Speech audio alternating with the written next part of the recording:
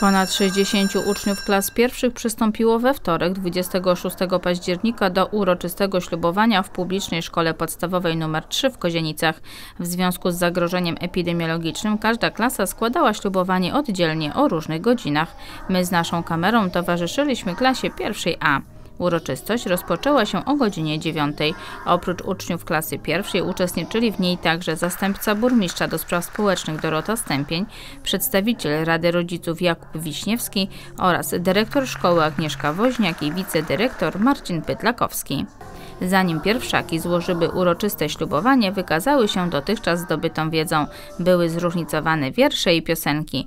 Potem w imieniu społeczności klasy pierwszej A głos zabrała przedstawicielka rodziców Katarzyna Fiołek, która podziękowała dyrekcji i gronu pedagogicznemu. Następnie maluchy złożyły uroczyste ślubowanie na sztandar szkoły po czym dyrektor placówki pasowała każdego z nich na pełnoprawnego członka szkolnej społeczności.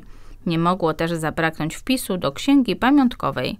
W trakcie przemówień okolicznościowych skierowano wiele ciepłych słów zarówno do uczniów, jak i do rodziców.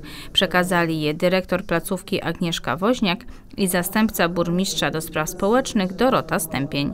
Były też upominki. Pierwszoklasiści otrzymali dyplomy pasowania na ucznia i książki a od gminy Kozienice specjalne kubeczki ze słodyczami. Spotkanie zakończyło się pamiątkowym zdjęciem z udziałem pierwszaków, zaproszonych gości dyrekcji placówki i wychowawczyń klasy pierwszej A, Barbary Hoły i Justyny Balcerzak.